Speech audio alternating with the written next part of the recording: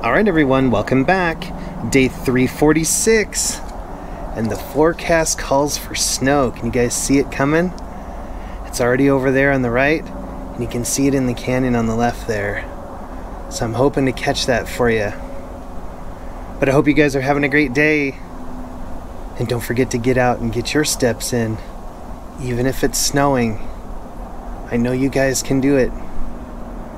Alright, I'm going to set up this time lapse and we'll hope we can catch this snow that's supposed to come in the next few hours.